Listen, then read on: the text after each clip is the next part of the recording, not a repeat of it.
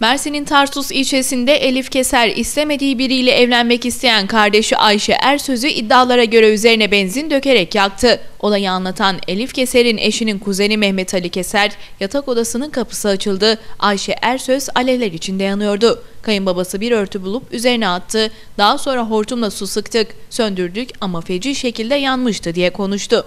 O arada yatak odasının kapısı açıldı bir alev topu.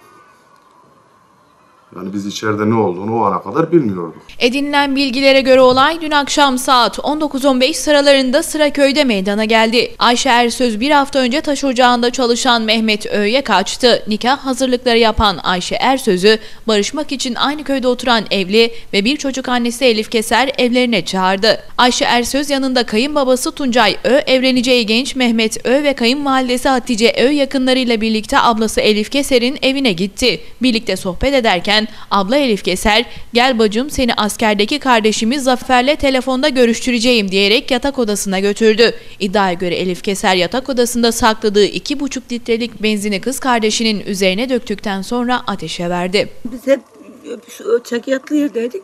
Onun ikisi geldi abinle konuşturacağım seni dedi. O arada kapıyı da kilitlemiş.